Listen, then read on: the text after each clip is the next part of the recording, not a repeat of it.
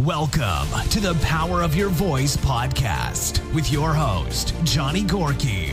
You have the power to overcome challenges and fears. Let my voice and the voice of many others show you how to transform these challenges into opportunities. To learn more about future podcasts and read episode show notes, check out my website at www.thepowerofyourvoice.com.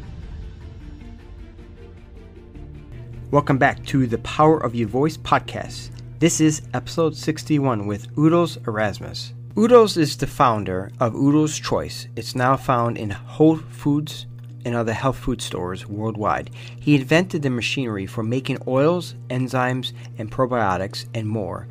Udos first pioneered flaxseed oil and the healthy fats industry. Udos is an acclaimed author, speaker, and expert on total sexy health.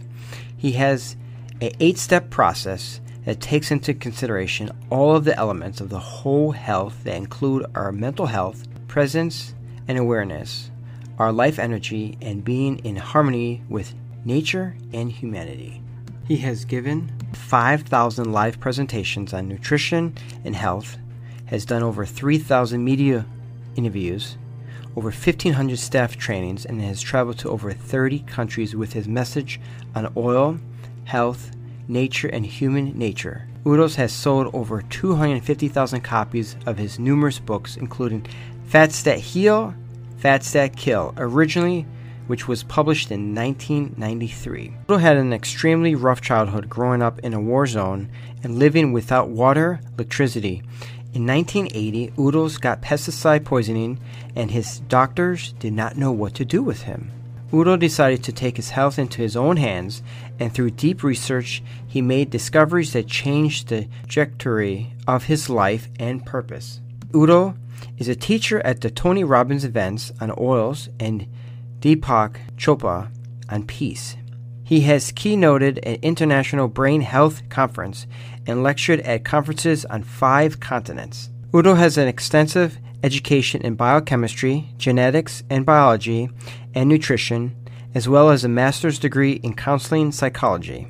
His latest focus is on sustainable energy and water management, as well as healthcare based in nature and human nature, and the thirst of heart, resulting in total health. Welcome to the Power Your Voice podcast, Udo. It's great to have you on, sir. Hey, my pleasure. Thank I you. I love doing these. Thank you.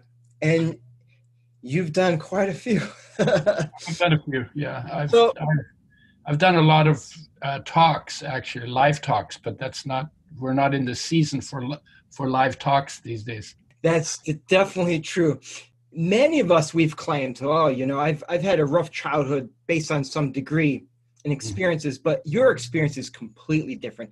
Can you tell our listeners how was your childhood growing up, especially in World War II in Poland? Completely different. I, I, try to remember as little of it as possible. I was born. My parents were from Latvia and Estonia.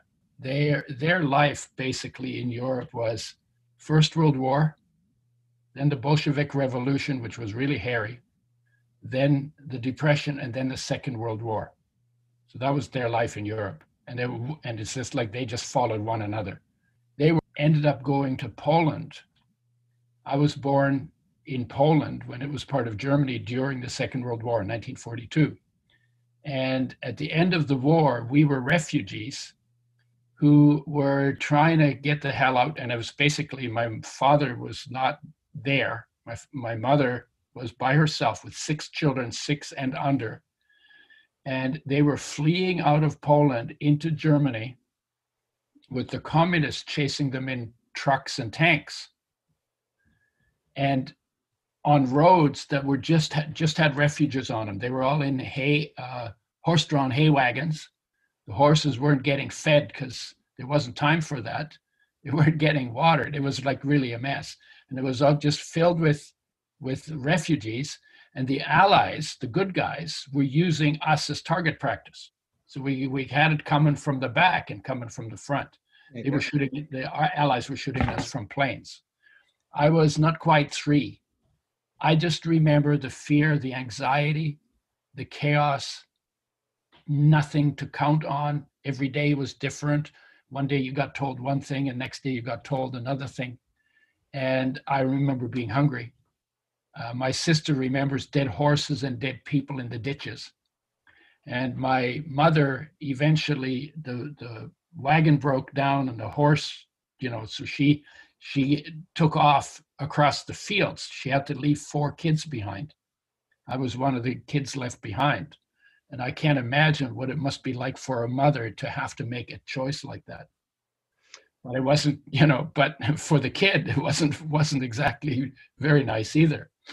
And so I grew up really very, very shy. I was so shy that if I had to talk in class, I would find a reason not to go to school. So if I had to do a presentation in class, I would not go to school because I I couldn't handle having more than two eyeballs looking at me. Now, how are you able to overcome that? Because that that's a big challenge for people. Yeah, which is yeah, which is kind of funny because I actually make my living on stage now. right? Well, it's complete opposite. And and there were two things that happened. One was that I got to a point when I was in my 20s. First of all, I, I went into when it came to education, I read a lot of books and I really wanted to understand how things work because I didn't know what I could count on. But if you know how something works, then you can count on it right? So I studied science and then I studied biological sciences and I studied uh, psychology and I did a lot of self knowledge work just, just to, to understand who I am and what I function like and what, what am I made of. And so that was one way. I did a lot of reading because it was safe. I never felt safe when I was a kid. Uh, so I read a lot of books, got pretty knowledgeable. Books are safe, right? Nothing ever jumps out at you at a book. Nobody ever shoots at you from a book, right? Even if they're talking about shooting, it's, they're not shooting at you. So it's very safe. And I got to one point where I realized that I was ashamed of myself and my body. And the way I figured that by this time I was 26, and I was still just, still just a shy. Like I would stand in front of my my professor's door and I would have a conversation, you know, instead of knocking on the door and going in and having a conversation, I would stand outside the door, hesitating and having the whole conversation, including his answers, in my head. and then finally I'd have the conversation, and uh, his answer to, to my question wasn't what I imagined in my head. It would be completely different.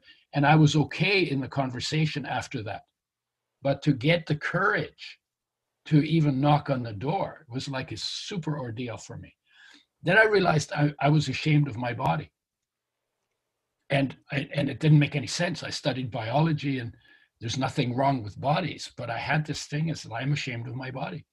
So I decided instead of trying to talk myself out of it, I would just become comfortable to be naked in public. And so out of that, I started a nude beach and the way it went as I went down down to the beach, sat down behind a log, took my clothes off, sat there, and somebody would come by, I would duck. Got to a point where if there was nobody in the beach, I would walk around naked on the beach. And if somebody came came by, as soon as I saw them coming, I'd go down, sit sit down behind the beach again, uh, sit down behind the log again, right? And then it wasn't too long before I'd be walking naked down the beach and somebody came and I would just keep walking. And I did that for two years.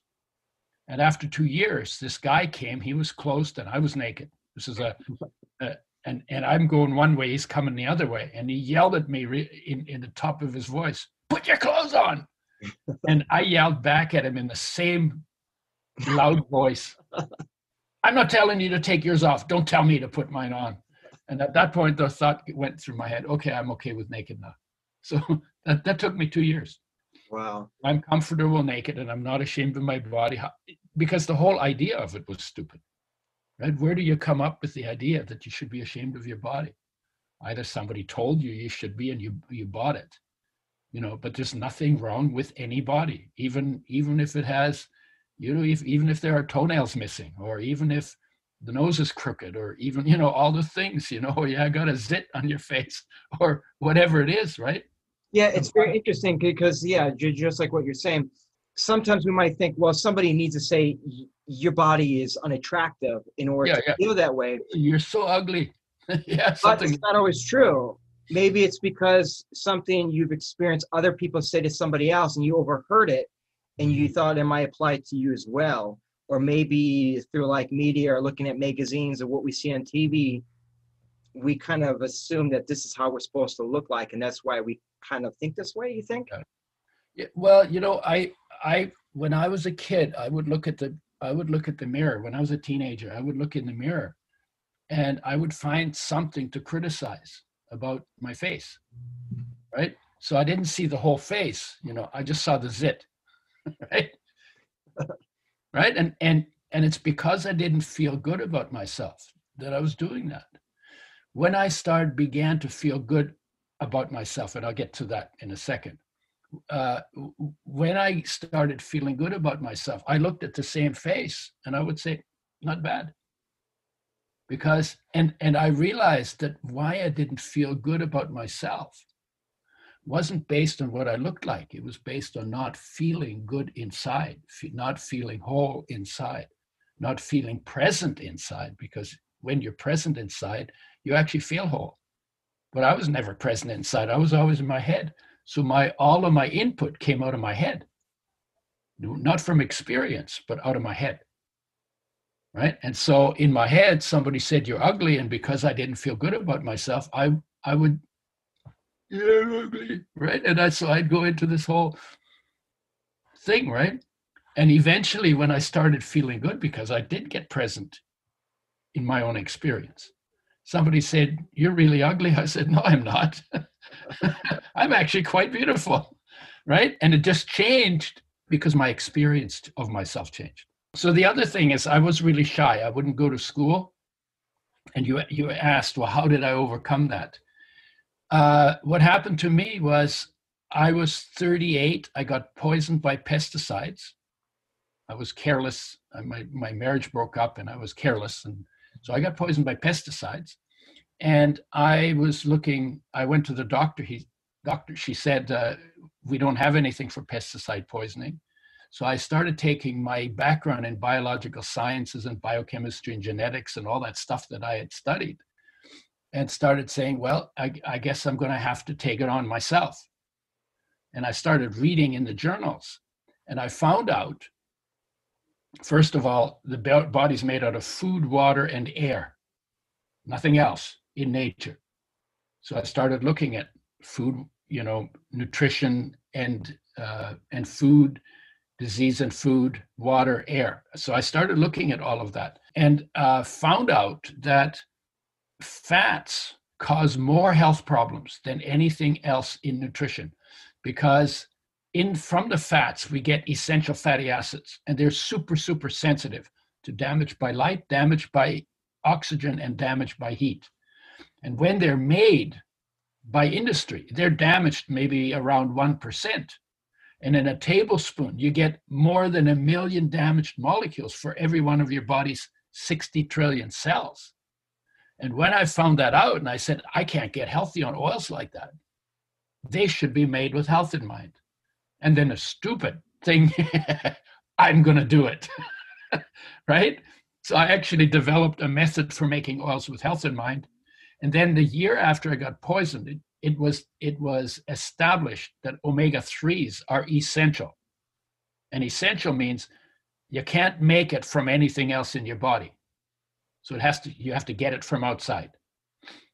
If you don't get enough your health goes down it gets worse with time and if you don't get enough long enough you die. So this these are the essential building blocks for body construction. And and the third part of the definition is that if you're going down because you're not getting enough but then you bring in enough into your body then all of the problems that come from not getting enough are reversed.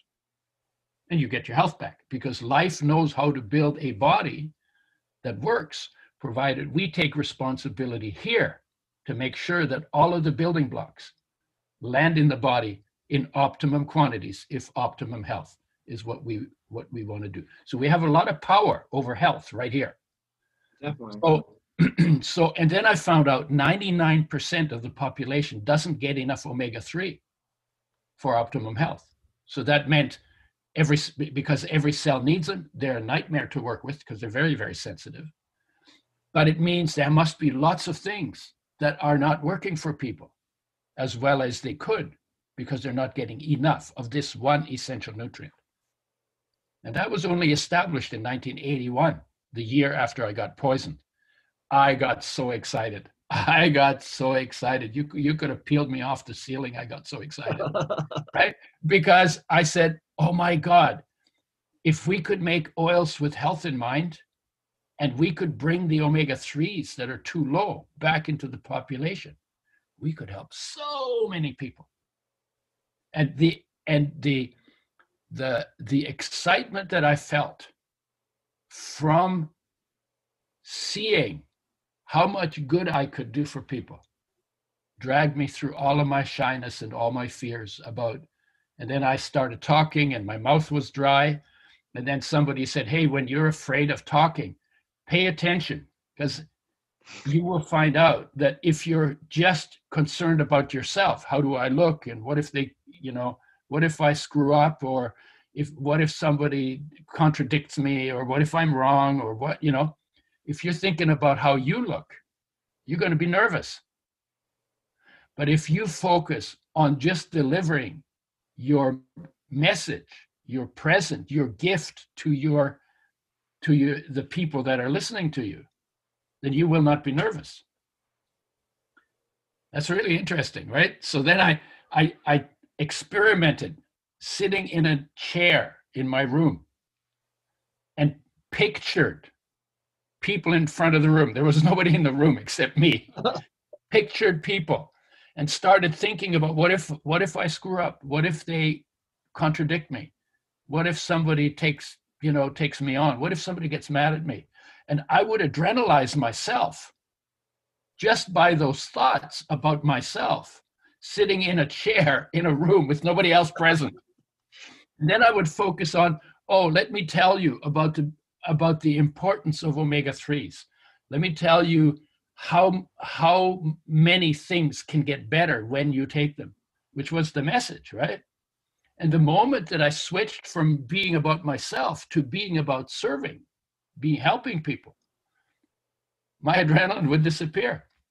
And then on stage, the same thing happened. Before I got up, I said, "Oh my God, oh my God, what if?" You know, and it was all about me. And the moment I opened my mouth, two sentences into presenting something of benefit to them, my nervousness completely disappeared. And now I'm to the point I've I've given thousands of talks now, like five thousand probably, maybe well, I've more than that actually, and done three thousand media interviews, and uh, just in the last year I've done about 150 podcasts, right? But so these days I get on stage, I got no butterflies. I just have a message. And because I focus on the message instead of focusing on the butterflies, the butterflies have left the building. right? So that's how that's how I got through all of my shyness and all of my fears and all of that stuff. Simply because I found something that I felt was so worth doing. It was like having a purpose for your life. That that you know and then i you know i mean i started and i had a dry mouth when i started talking. That went away pretty quick.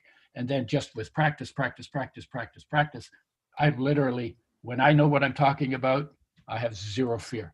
You know even people sometimes say oh you should be a little nervous because you'll be a better speaker. It's not true it's not true you want to be you want to be in your in your power you want to be in your presence and but you want to be there to deliver something of value to people. So the question for me is like, how can I help people? What can I do that helps people the most? That's what I want to do, or that helps the most people in the greatest possible way. What's the biggest splash I can make for good in the time that I have on earth? That's basically, that's a really good question to ask, right? and then that'll depend on who you are and what your experiences are and and what your talents are and what you have you know uh, what you're interested in. It's like you you're talking about you know you've taken something that was a that was a challenge for you. I checked you out a little bit right? But you did something that's a challenge for you and now you're using that to to to help people. How cool is that yeah well i, I was going to ask you yeah because that's the thing it's like you found something that you're extremely passionate about. Yeah.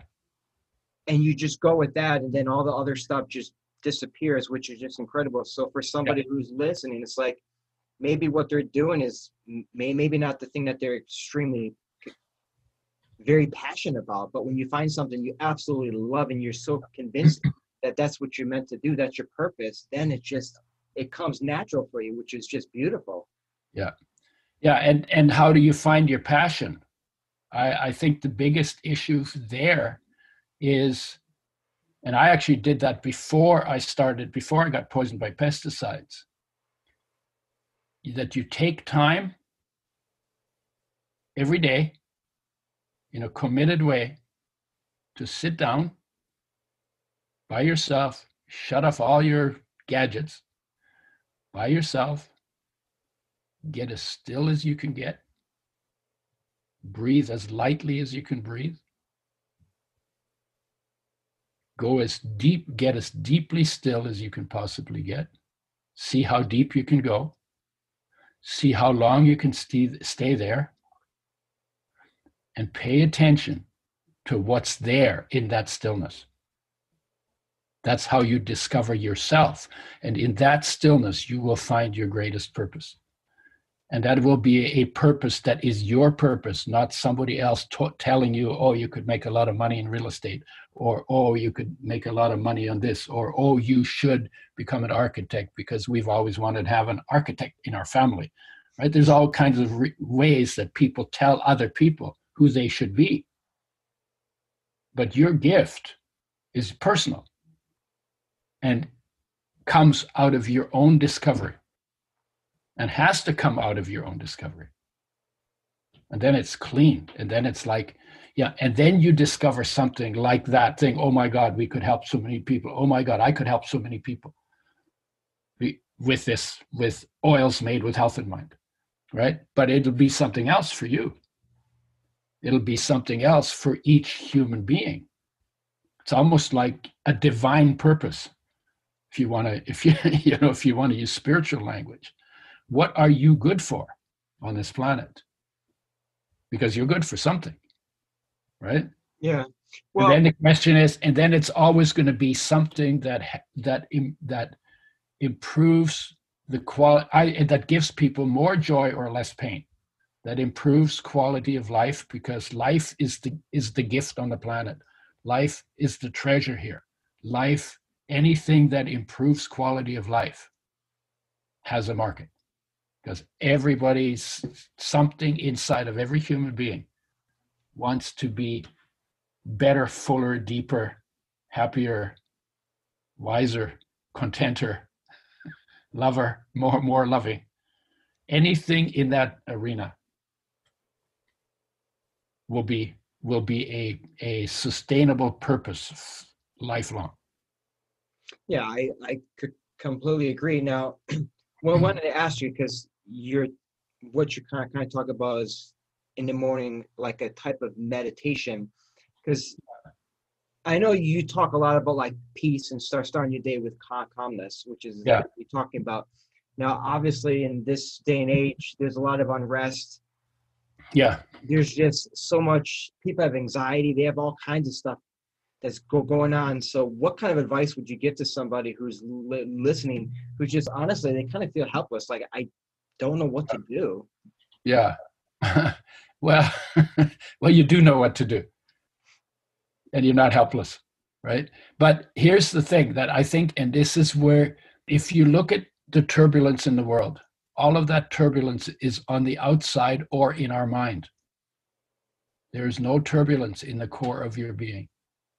In fact, if you want peace in your life, that peace exists already within you. It is the foundation of your existence, and it is the foundation of the of the entire universe. Same peace. You can experience it in your own life but you have to bring your awareness, which is focused on the outside or in your head most of the time, you have to bring that into the space that your body occupies.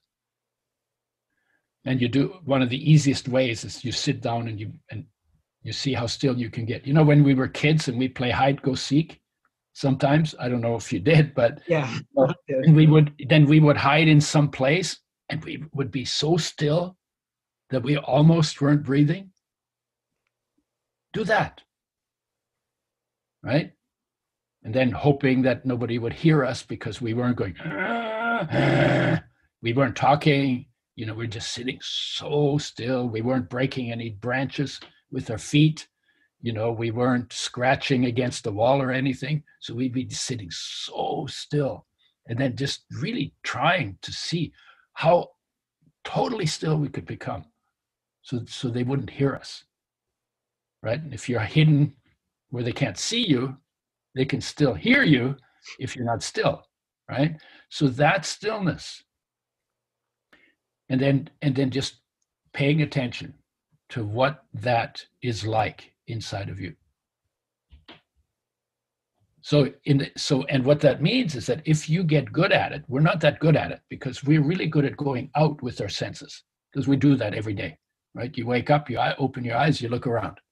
You know, you hear you something moves, you look at it. You know, you hear a sound, you you listen to it, right? What's that? What's that? What's that? And that's survival stuff. You know, we learned that very early in our life. We didn't need that. We didn't know that when we were in our mother's womb. We learned it very early in life because it's required for survival. You have to get to know the world you you live in, and whenever something changes, you got to pay attention because you got to say, is this a friend? Is this an enemy? Or is this irrelevant? And depending on how you assess the change, you respond to it in the in the appropriate way. You know, if it's if it's danger, you run or you fight. If it's if it's uh, if it's friend, then you come closer and embrace it maybe. And if it's irrelevant, you just ignore it. Right?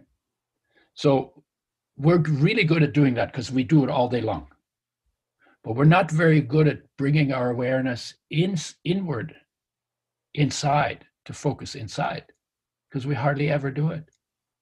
And, and going out is automatic for survival going in has to be deliberate. And the starting point, if you want a starting point, is heartache. Whenever your heart aches, like I'm sure you know what, what I'm talking about. Somebody ever dumped you? You felt heartbroken because you didn't want to get dumped? Yeah, we all. Yeah, that feeling. Or somebody dies who you were close to. That feeling of sadness, sorrow, grief. Always you feel it in your chest.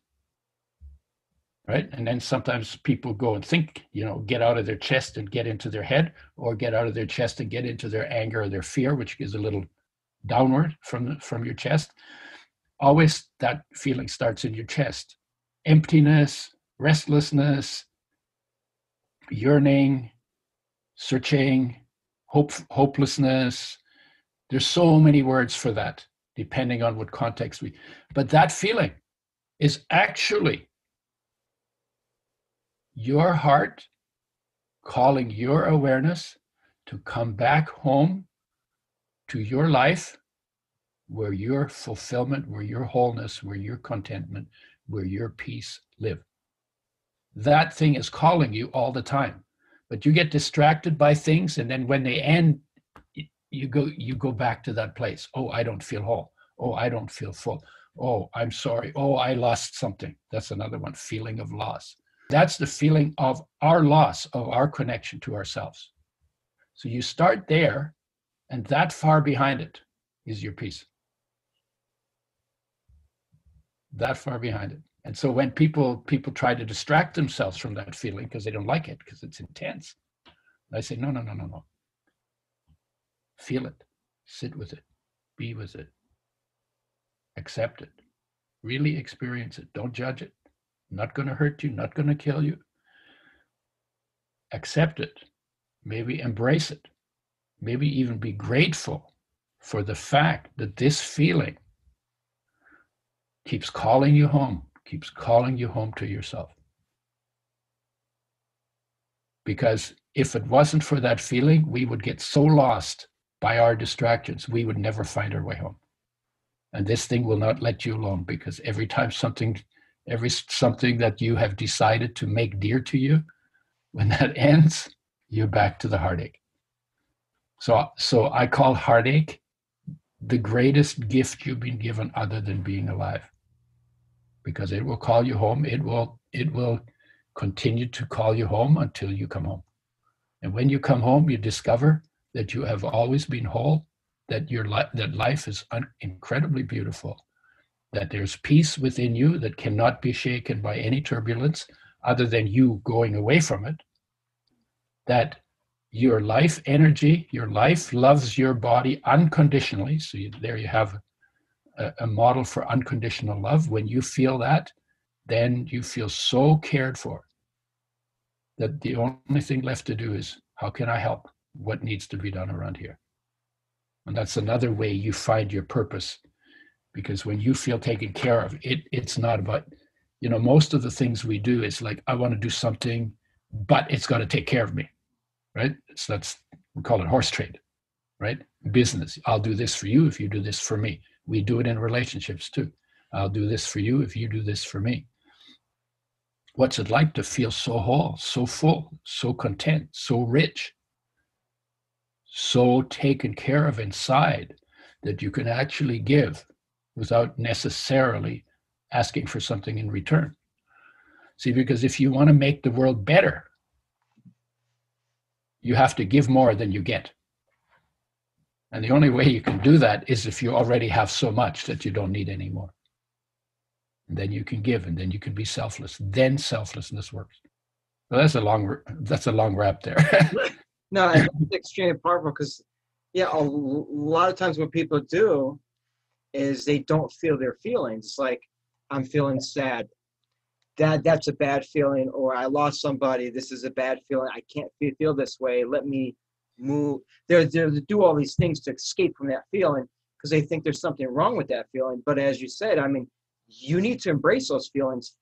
If you feel sad it's it's a good thing to feel that sad. You're a human being and yeah. these feelings that you, you're feeling are just like a natural thing that we're supposed to feel. But a lot of times yeah we we escape from these feelings because you know we're we're told by our parents or by society that you know feeling like this is bad or something wrong with you when yeah. really it's nothing. You this is just natural for us yeah the yeah the feeling is the starting point.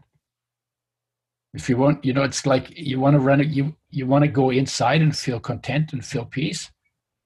Well what, you know that's the goal. What's your starting point? Well your starting point is where you, what you're feeling right now. And the strongest starting point is actually feeling sad or feeling bad. That's where you're starting. If you do, if you're not willing to put your feet in the blocks for the race, you're not going to run the race, right? Every every journey has a starting point and a and a destination. Starting point for this journey, the journey inward, is whatever you're feeling, and especially feeling heartache, contentment or discontent, or sad, or bad, or sorry, or, you know, that's your starting point. And peace is the is the uh, is the is the goal. That's the finish line. Only that journey of awareness goes inside. It's just a journey of awareness. Because wherever your focus is, that becomes your reality. So you want to live in the reality of peace. It exists within you, but your focus has to be where it is. You know, you can't say, uh, you know, I've got money, I've got a million dollars in my left pocket, and there's nothing in my right pocket. And the only place I look for money is in my right pocket. And I feel like I'm poor because I can't find it. Well, you have to look f- for where it is. The peace is in you. The love, unconditional love, is in you. The inspiration is in you. Purpose is in you. Richness is in you. You were born with everything. Now, you already know that in a way, because when you were in your mother's womb, you were in a perfect state. I call it, I call the womb the Buddha tank. So there you were floating around in a little water tank, right? Nothing to do, nowhere to go, everything taken care of, and pretty safe. So where was your awareness focused? Well, it didn't have any place to go. So it was folk it was it was at rest, your awareness. The focus of your awareness was at rest inside in life. And you were just floating around and your body was growing and you weren't even conscious of your body. You were just in you were just in the light. You were you were in a little Buddha. That's so you've been a little Buddha for nine months if you were if you were a term baby and you were you were present inside but absent outside because there wasn't anything outside you were going to then you got born you went outside and became present outside and absent inside that's where your heartache began and then the dramas and traumas remind you of it but the heartache began from your disconnection from yourself it is a part it is a natural part of every human being's journey but the homecoming is not automatic. It has to be deliberate. You have to make time because there will always be something that'll call your attention on the outside. So that's why you create a safe place where you're not distracted, shut off all of your gadgets, and sit with yourself, sitting still. Most people say, when I do that, I'm bored. Okay, just notice how much peace is in your boredom. And when you're bored, it's because you're out of your addiction to doing stuff. And you're not yet in the light, in the sound, in the in the feeling inside, you know, of life inside. Because if you actually sit down and get really quiet in a dark room, close your eyes. If you look inward deep enough, eventually you'll see light in the darkness. You'll hear sound in your silence. You'll feel love in your emptiness. And you'll even taste sweetness in the blandness of your mouth. That's part of human nature. But you won't know that unless you take your awareness there. And and there's a way of doing it that works, and there's ways of doing it that doesn't work. If you're always going outside, you're not going inside. Now, now we have COVID, right? Corona, right? A lot of people changed their life, put the whole world on hold. And we have time to be with ourselves. So I say to people if you can't go outside, go inside. Right? you could still go inside. And uh, and and and what is your life about? You know, what is it to be a human being? What does it feel like? What, what would it take to be fully present in all of your being and your surroundings and not tied up in thoughts in your head? That's sort of the cherished state, fully present in all of your being and your surroundings. Then you can respond to whatever happens. And and it won't be difficult. And it's not going to be based on fear. It's going to be based on wisdom and understanding and recognition because you're actually present in your life and you see what's going on and then you you have all your resources at your disposal to address what needs to be addressed to bring it back to unturbulence now i have a question about boredom because as an adult we we understand that i mean what you're making makes perfect sense mm-hmm. and sometimes when we're bored that's when we become extremely creative now for someone who has children who's listening you know, kids where I'm bored, I'm bored, I'm bored, I'm bored. How, how do you kind of help a child understand that being bored is actually a good thing? Yeah. Well, you, you have to model it. If you're a parent who can't stand boredom, you're not going to be a good model for the kid, right? you know, and kids are pretty, by nature pretty active and they need to be active and that's how they get to know the world. So this, that's that's not a problem but there's time for stillness for kids too and in fact there are people in in certain places they, where they where they teach in school you know we used to call it a timeout right? You isolate the kid when he's getting too socially obstreperous right? And then you isolate the kid and you call it a timeout. But the timeout is time where you can actually be with yourself if you use that time properly. right? And if you can if you can learn how to be comfortable just being with yourself your kid will be comfortable too. If however you never comfortable with yourself sitting still and doing nothing. Then you're basically going to turn that off for the kid as well. You're going to make it harder for the kid to be able to find their peace because you never did your homework to find yours. It makes sense yeah. Right? So so but you can't you know you can't hammer people on the head. I mean we're talking about it. Right? But you can't hammer the kid over the head with words about peace.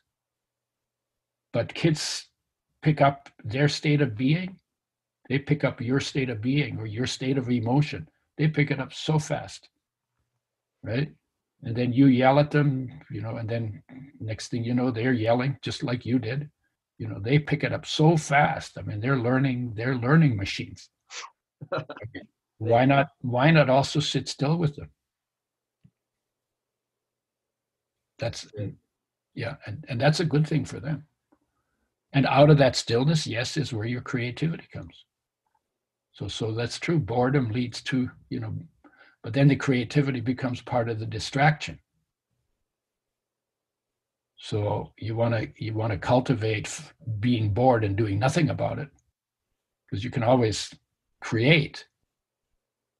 But going a little deeper into the boredom, you're going to find even more gifts, even more gifts that are embedded in life become available to you. That's the thing for a lot, a lot of people, especially now with technology, TV, and all this mm-hmm. stuff we always feel that we always have to do, do, do, do, do something. Yeah. Every single seconds a day. As you said, it's like, you know, even even people lay in bed with their their phone or they're going yeah. to the bathroom. Yeah. Hey, I, I got I gotta go to the bathroom. I gotta look at my phone. It's like they're so addicted to everything that they constantly yeah. are having to do yeah. something. But it's just a habit, it, and it is an addiction. So you know, I my view is that if you do do do, you turn into do do. right? And so what I say, and but to be serious about it, you know, being and doing, which one's more important? Being, being or doing? being, being. Why? Because you can be without doing, but you can't do without being. So being is your foundation. And if you want to live your life without without foundation, then be a doer. you know, then right? And then a lot of times when people ask, like the question you ask, well, how do you do that? You know, how do you do being? you have to stop doing. Do nothing to be. Right? But most people will say, well, you know, teach me what I need to do to be. And you have to actually undo but that's that's just an indication of how addicted we are to doing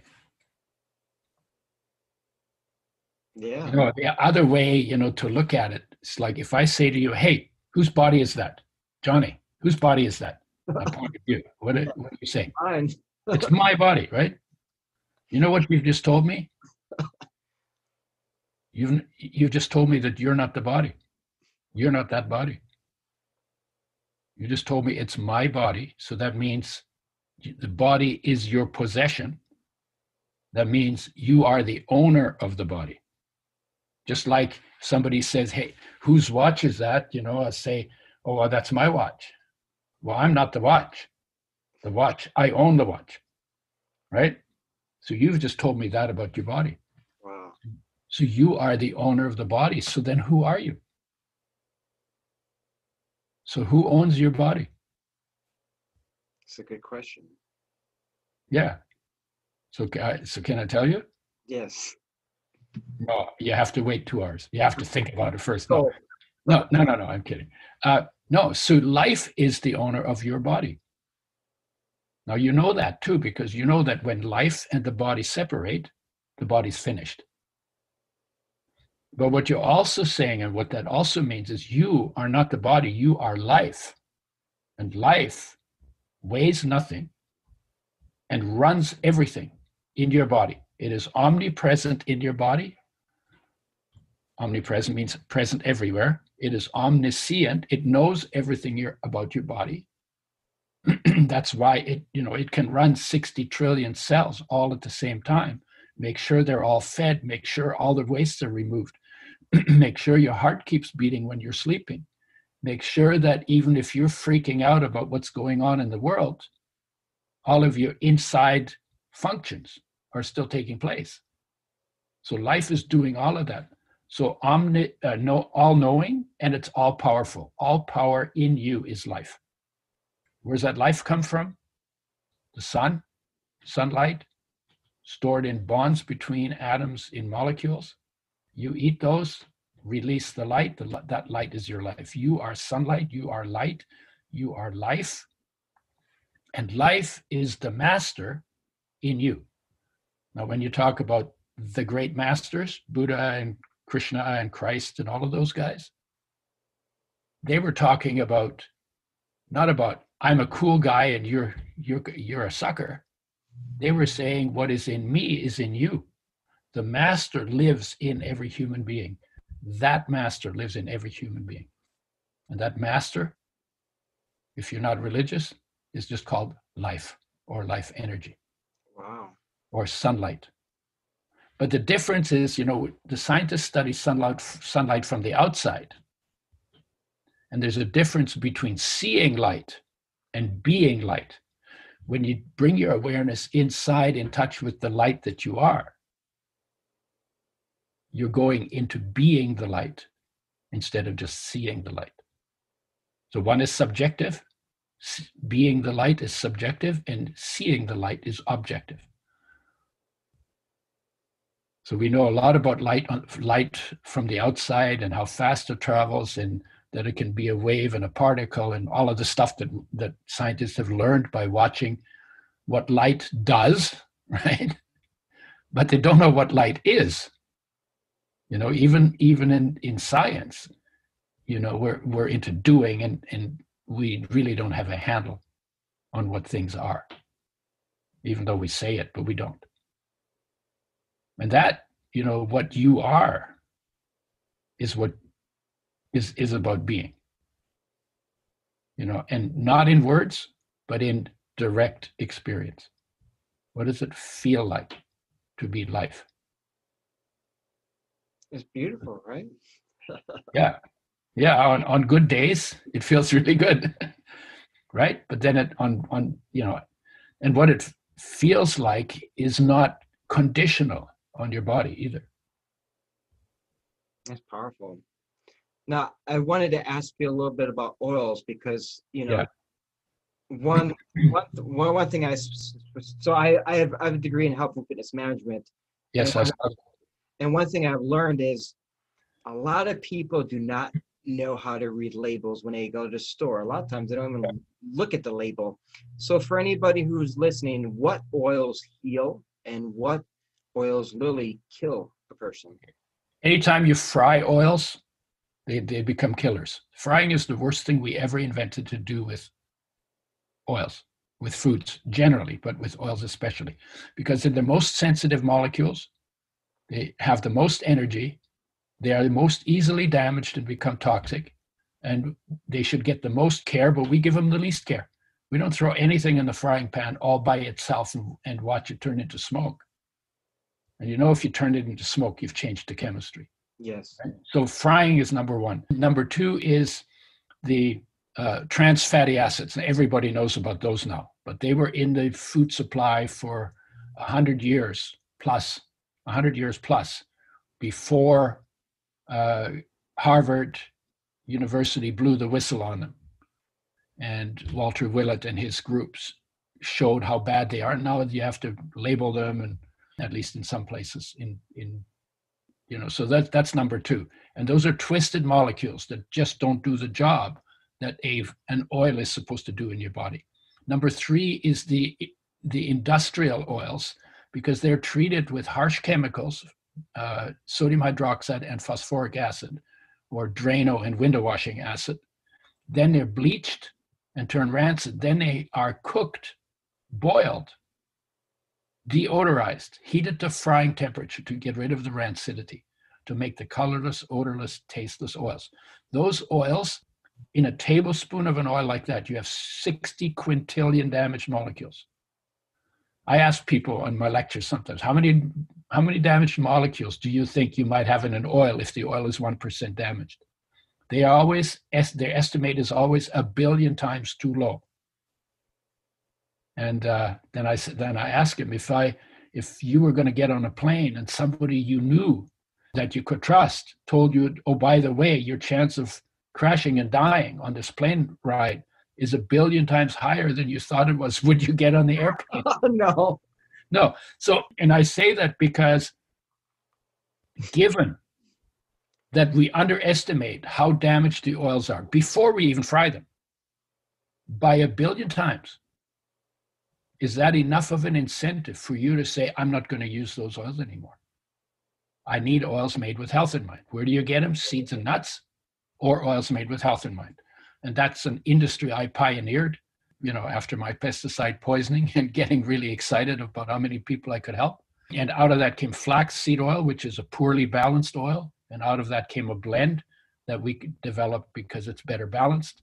And then the, the third, the fourth toxic oils are saturated fats if you're not getting enough of the omega 6 and omega 3 essential fatty acid. Because what happens is uh, saturated fats will make your platelets more sticky and will make you more insulin resistant. But omega 3s make you more insulin sensitive and make platelets less sticky. So saturated fats are a problem only when you have not optimized your omega 3 intake. And 99% of the population hasn't done that.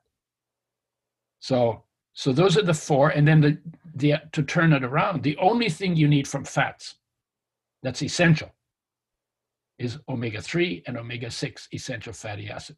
Your body can make the fish oils if you get the foundation containing enough plant based omega 3s right? Omega 3 and 6 are not supplements. You have to dis- distinguish between the food oil foundation, which, which is damaged that needs to be changed. So your body needs an oil change just like the car, right? You take the dirty oil out, you put clean oil in. So, uh, and then you can take a supplement in addition to that. Sometimes that can be helpful but this supplement can't fix with fix what's wrong with your foundation. So you can't just dump a good supplement on a bad foundation and get it fixed. You have to get the foundation fixed by changing the foundation. And then a supplement can can be an add-on, but you cannot do, you know, I fish oil is not enough oil for human beings. We we need a lot of oil in comparison to other creatures. You know, our body is usually, if you're pretty good shape, 8% body fat. You know, most people have more body fat than that, and it's our energy storage. Mm-hmm. These are the high energy molecules. Omega 3 is the highest energy molecule. If energy is God, then, then omega 3 is the God molecule, right? Because you get more, it turns on energy production in the body, it turns off fat production in the body and you get stable energy, but a high level of energy, better than on carbs. You know, we had athletes running marathons. You used to always run them on carbs. The carb load for two days. Problem is, you only store one pound of carbs in the body. And at 20 mile 20, you're out of carbs. And they couldn't take sugar drinks and stuff with them in the days when, when we started this. So we said to them, no, no, you need to carb deplete, run the whole race on fats. Take your omega 3s because they will increase your fat burning mechanism. And that was really out of the box when we started doing that. Few people tried it and they said, oh my God, that was incredible. When I finished the marathon, I felt like I had enough energy to run another marathon. Wow, that's good. Whereas, whereas on carbs, they could they would always hit the wall at 20 miles and then drag their butt the last six miles. But the only thing you need is omega 3 and omega 6. And because they're really sensitive, they need to be made with health in mind. You either get them from seeds and nuts or you get them from oils made with health in mind. How, how do they heal? The athletes we worked with and the reports we got from athletes is omega 3s decrease the time it takes athletes to heal from injuries to a third to a half the time. And that's just because they give the, the cells more energy to do their work. They also, when we work with athletes, if they took a tablespoon per 50 pounds of body weight per day, mixed in food and intake spread out over the over the day so it's usually two to four tablespoons for most people of udo's oil within 30 days they had 40 to 60 percent improvement in their performance if they did their performance to exhaustion so that's how we did the study so uh, do your sport to exhaustion figure out what that is go on the oil for 30 days and do your sport to exhaustion again. They have 40 to 60% increase in stamina on average. That's incredible. That's huge. You can't, there's no training program that'll do that for you. And it make your skin really nice and increase IQ by three to nine points. Studies on that. Elevate mood, lift depression because the body makes uh, endo, endocannabinoids out of oils and protein. So then you don't have to smoke a joint to get high. You you get high, you get high on your food. now speaking of like cooking oil, so would a person, if a person's going to have oil, obviously they need to have it raw. Mm-hmm. But if they're going to cook with something, what should yeah. they use then? Because as you're saying, you're taking oil and you're destroying it. So what, what, what if they're going to cook with something? What would you recommend if they're going to? Well, yeah, people ask me, what oil can I use for cooking? I say water. water is the only oil you should use for cooking. Well, water, of course, is not an oil, right? But here, you know, I'm 78. So when I was a kid in uh, Europe, we left there when I was 10. And when I came to Canada, and probably for another 10, 15 years, mostly when people cooked, they cooked in water. The idea of cooking everything in oil we call that frying. Now it's called cooking. Cooking, when I was a kid, meant the use of water for heating food. When you cook in water, you don't dry out the food and it don't burn it. When you cook in oil, everything that turns, you know, first it's caramelized and then it turns brown and then it turns black and then it turns into smoke. All of that stuff is toxic. When you overheat carbs, they, you increase your risk of inflammation and cancer. When you overheat protein, you increase your risk of inflammation and cancer. And when you overheat oils, you increase your risk of inflammation and cancer. And inflammation, as you know, is behind many of our major degenerative diseases, including Alzheimer's and, of course, the, the uh, rheumatic diseases, arthritic diseases, and diabetes. Uh, inflammation is involved in all of those as a as as a, a, background factor. And frying gets you that no matter what you fry. You know, you burn your vegetables and you fry the fiber and fry the whatever you got in your vegetables, increase inflammation and cancer increase, increase risk of inflammation and cancer. So the frying is the dumbest thing we ever learned to do with food. The most destructive, the most health hostile thing we've ever done to ourselves is frying. So I tell people, get your frying pan out wherever you got it, because everybody has one. Turn it upside down, hit yourself on the head with it really hard so it's associated with pain, and then throw that stupid thing out and go back to cooking in water and let me put that in perspective.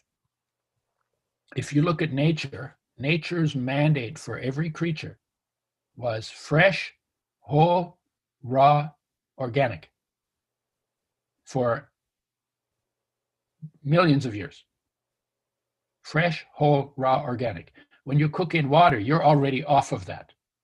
So you're going to lose some minerals into the water and you're going to make some of the amino acids uh, partially damaged and um, some of the more sensitive vitamins may be partially damaged and your proteins coagulate and they're harder to digest you know so you're already making differences that affect your health You're making changes, but it's less damage. You know, when you fry, you get all of those problems, but you also you also make the molecules unnatural, change them from natural to unnatural, and many of those are toxic. That's why you get inflammation and cancer.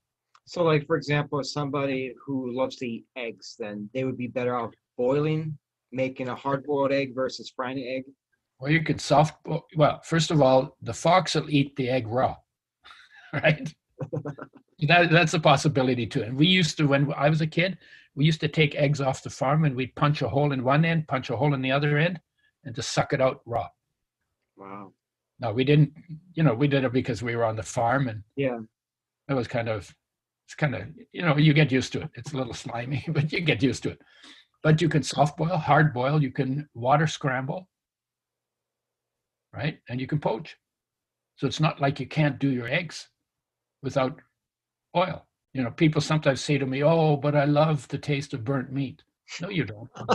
you know, my answer is no, you don't, because if you scrape that stuff off of your meat and you get a tablespoon of it and then you eat that burnt stuff, it squeaks between your teeth like chalk on the blackboard. It's acrid, it's bitter, and it tastes disgusting, and it kill you, and it'll kill you. But but it's not even fun going in. A lot of stuff is like it's stuff we do based on the way that we grew up. Like our mom and dad made it this way, yeah. so that's why. Like I, I'm originally from Milwaukee, Wisconsin. My my whole family's from yeah. Europe, but here in the South, everybody fries every single thing. Usually, everywhere, everywhere in the world, everybody now fries everything. But the thing is, how did that happen? The industry became, you know, it started. The industry really just started around 1900. The big industry, the big oil industry it's now $100 billion a year. It's like a big industry around the world. And they, they wanted to have a long shelf life. They weren't looking to, to make oils with health in mind. They wanted to have oils have a long shelf life because then you could make it in Vancouver and sell it in Milwaukee or sell it in Johannesburg or sell it in Tokyo because then you have a big market if you have a two or three year shelf life. So they figured out to do that, you treat it with Drano with window washing acid, bleach it, then heat it to frying tempera- temperature to deodorize the rancid stink. And so that's how they made the oils. And then it was like, oh, oh my God, what if we used oils for cooking? Then eh, we would get oil in every home.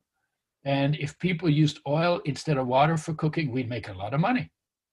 And so they bamboozled your parents or your grandparents, depending on how old you are, bamboozled them into changing from cooking in water to frying. People will ask me sometimes, well, what do you do? Uh, you, how do you do your steak in, if you're boiling? I said, well, we used to cut it in cubes and threw it in the stew with the vegetables and the spices. Tasted really good, wasn't burnt, was awesome. Goulash. uh, yeah, goulash, right. For instance, uh, one, just one example. Russian, huh? Uh, no, my father, his family's from Hungary. Is what? My father's family's from Hungary. Hungary. Oh, okay. Yeah. yeah. Oh, yeah, goulash is a, is a Hungarian thing, right? Yeah, yeah. Borscht, borscht is the Russian thing. wow. Yeah, so yeah, it's not a requirement. And and remember, sushi is raw, and Japs leave longer than anybody right? And why is that? Because when you don't cook the proteins, they're much easier to digest. And so, so, and every creature, every other creature other than human beings eats all their meat. If they eat meat, they eat it raw. Your dog doesn't cook it, you know, a wolf doesn't cook its uh, rabbits, right?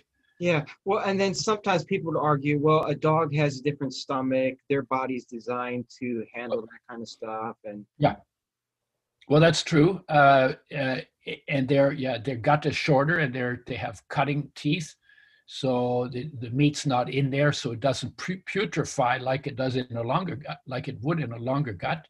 That means we should be eating less meat in the wolf. That's all that means, right? And we have chewing teeth. That means we need to do some chewing, so we don't just wolf down our food.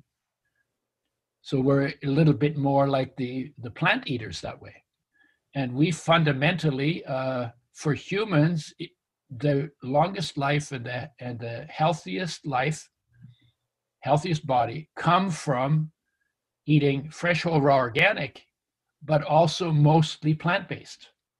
when the hunters had rocks to hunt with in the Stone Age, that's why it's called the Stone Age. They only had rocks to hunt with, right?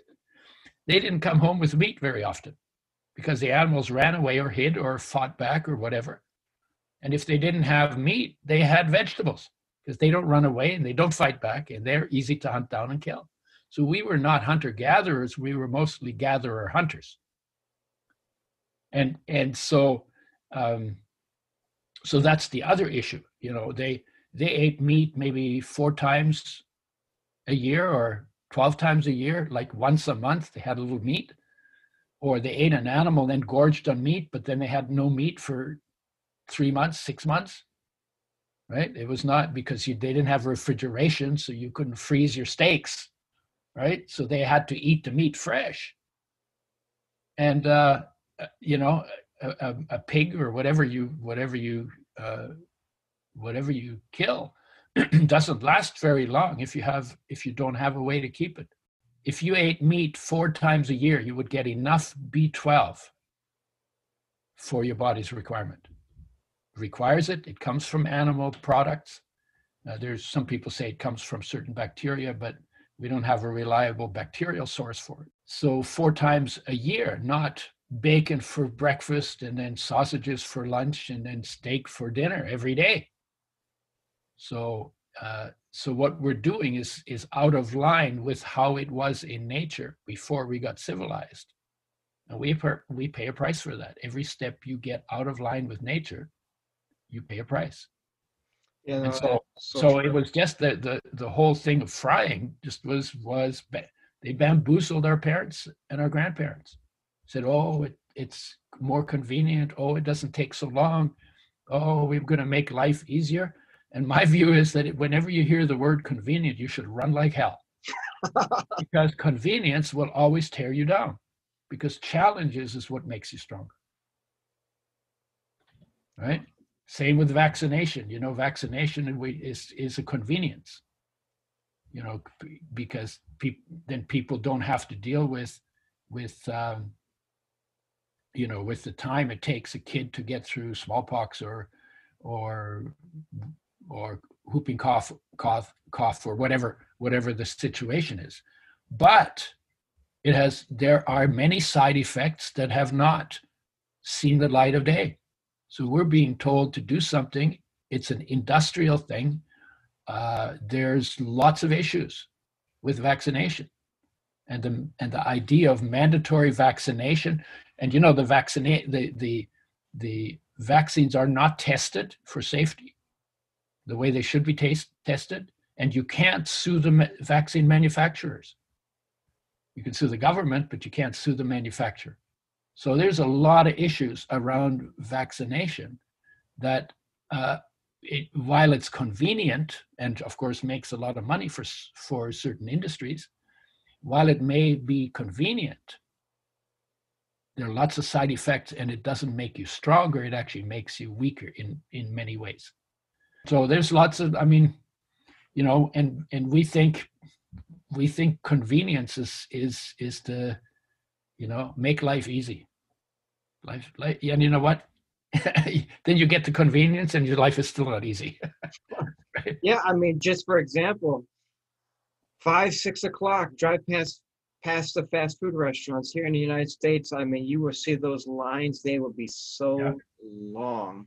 Yeah. You know, where most of us, we grew up in families where people sat at the table. I mean, like, I remember my, we used to go to farmer's market. My mom would start making dinner at like maybe 11 o'clock in the morning, picking green yeah. beans and all that kind of stuff. Yeah. Well, unfortunately, don't really do that anymore. Yeah. And there, and there's a price, price we pay. You know, it's in terms of lots of, lots of, I mean, there are psychological issues with it as well because eating together was, was a, good way for the family to spend time together you know and helping to cook was training you know and if you had if you were growing your own food then it, the kids learned about natural cycles and about patience and and about how the earth works and soils work and weeds don't work right and all of that and my view is if you have a house You should tear up your lawn and grow vegetables and, and, and fruits.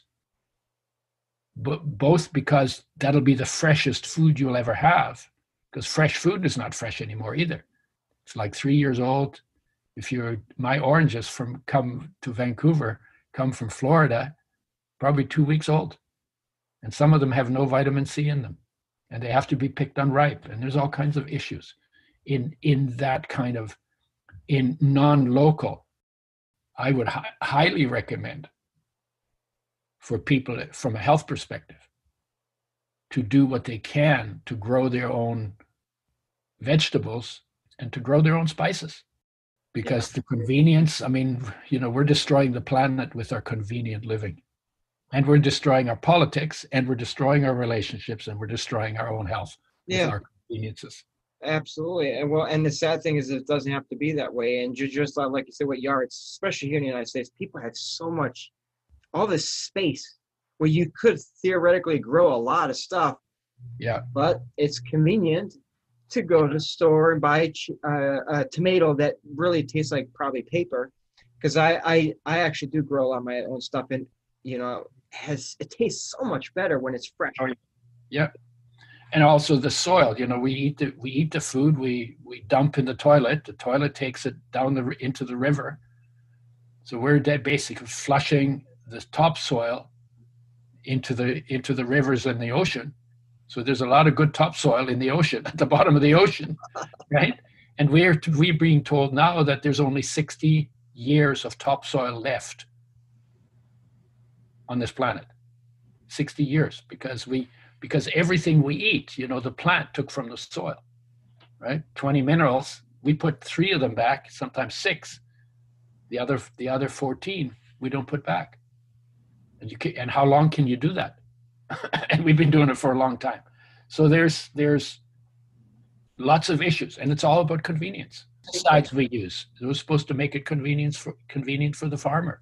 And we get pesticides in our food. So there's 14 minerals that's in the soil you were saying no they're tw- 20 okay depends so, on who you are there was there's like more than that it's like how many minerals are there there are 92 elements naturally occurring elements uh, of those uh, probably 50 50 are minerals right? Yeah. you find all of that in the soil in trace amounts or larger amounts but the plant will take about 20 minerals out of the soil. We eat that plant, we get some of those minerals, but then whatever is left in the plant, because we don't get all of that, that goes in the toilet, and then that goes in, into the water, right? Into the river. That's why you can't drink the Mississippi water. Yeah. it's all toilet water, right? And then if you live on the ocean, we we dump ours in Vancouver. We dump it in the ocean. There's our top. That's our topsoil. So what I'm saying is, you know, we got the, this cooking thing wrong. We should be cooking our wastes to kill the parasites and put the waste back on land, and we should be eating the food raw. Right. So what we're doing is we're cooking the food, and and and not putting the the this the, the remainder back on the land. So if you do want to replace things, so if you have a garden at your house and you're growing things, but you want to put things back into the soil, what yeah. are some ways that you can do that? Well, you blend blend them and dig them in.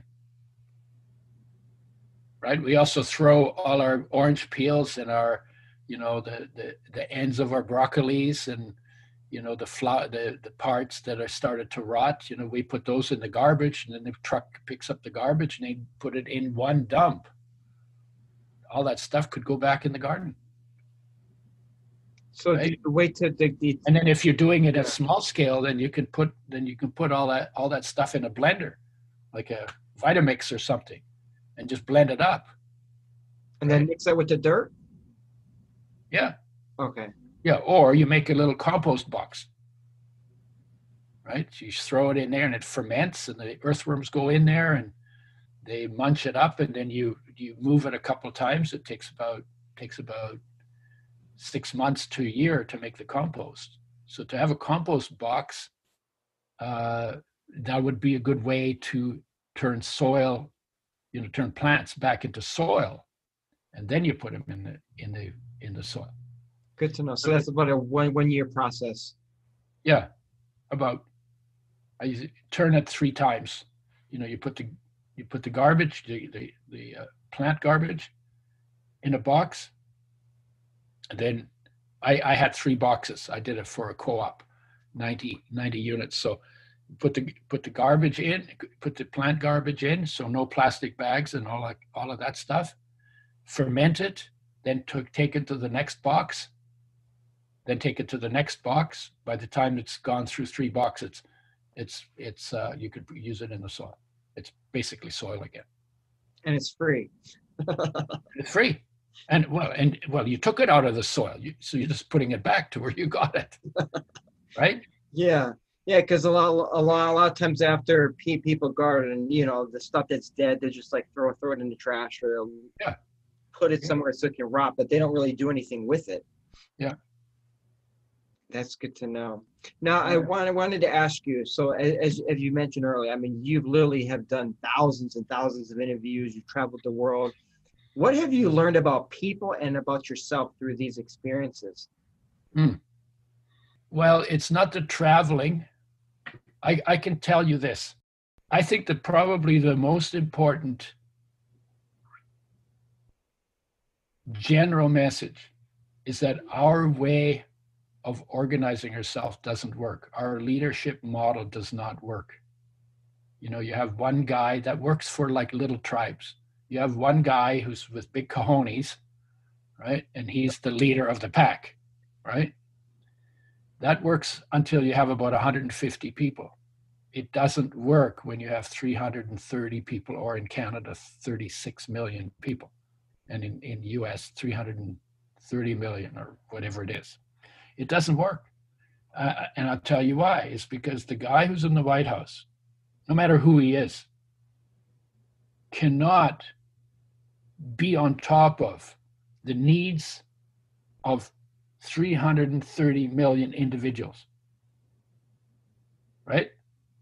So the best thing that guy could do would be to inspire people to pick up shovels and you know do the work they need to do in their own life.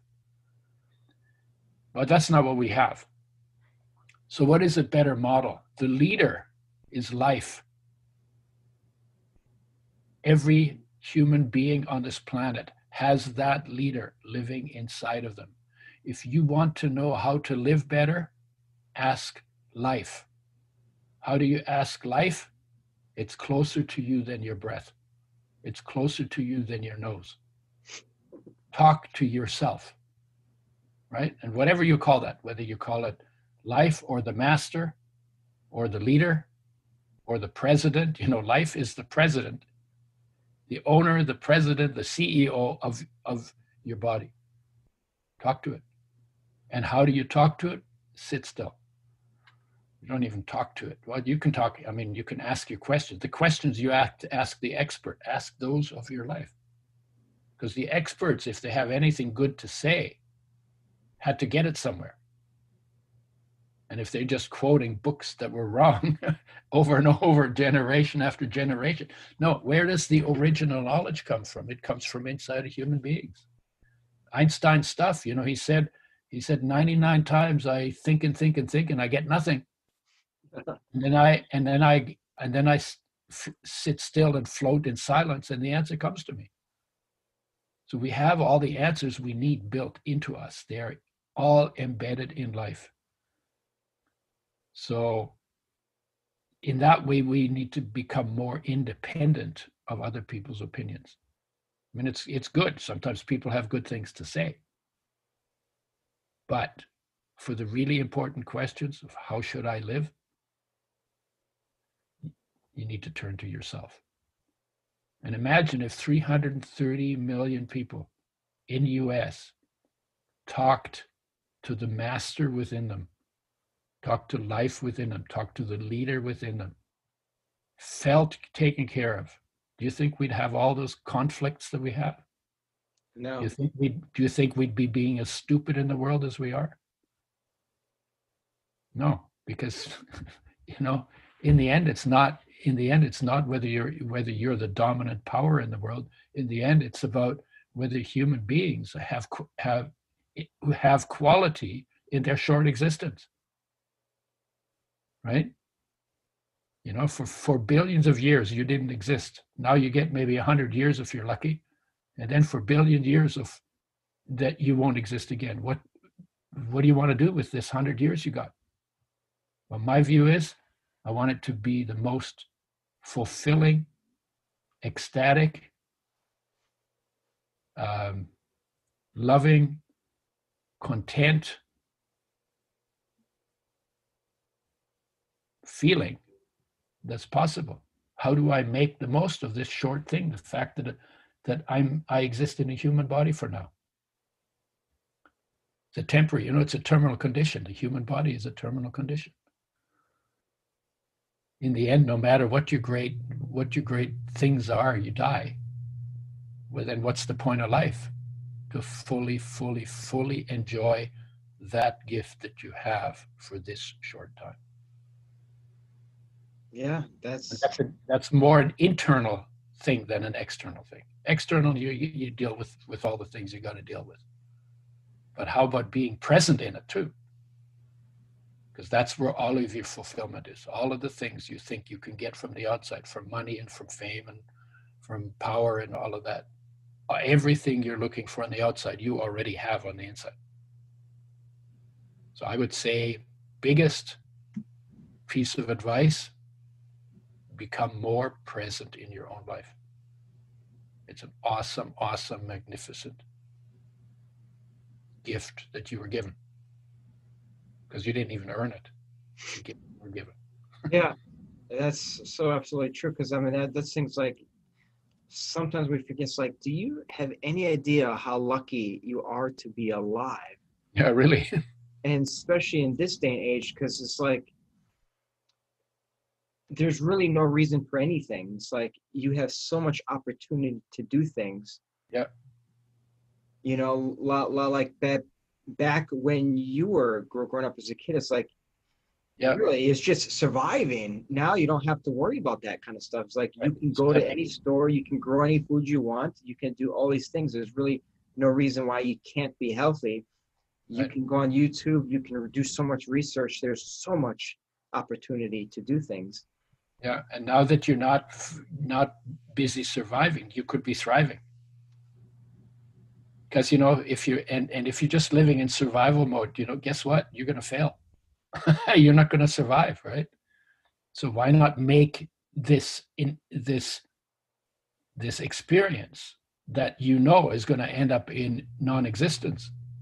Why not make it the most incredible and and the incredible is built into it. That's what's so cool about it. it. The incredible is built into it. So why not thrive until you crash instead of sitting there saying, oh, oh, oh, "I'm going to crash, I'm going to crash," and then crash. yeah. You know what? It's.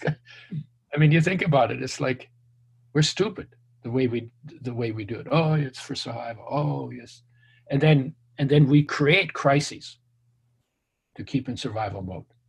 That's how people most easily control. That's how governments most easily control citizens, and how these leaders, these crazy leaders, cult leaders of whatever it is, religious leaders, there are all kinds of them, government leaders, politicians. That's how they control people. Create a crisis, create fear, and then people give up their focus on enjoying life and do the stupid things you want them to do. Now, we're going to start unwinding, but just to talk yeah. about leadership, like everybody yeah. needs to understand that beyond these people who we call leaders, we are leaders. How can a person be the best leader of their own life and as their individual self? Right. Obviously, you can't, the best, the way to be a best leader is to be fully present in all of your being, because then you bring all of your potential to the situation right? And it begins with leading your life, thinking for yourself, observing for yourself, experimenting for yourself in the little things that go on in your life. And the wisdom comes from number one, presence, and number two, paying attention to what's going on on the outside as well. You know, you're you're born like you were conceived with the potential of a master. Every human being, every human being, because it's in us, life, the light, the energy.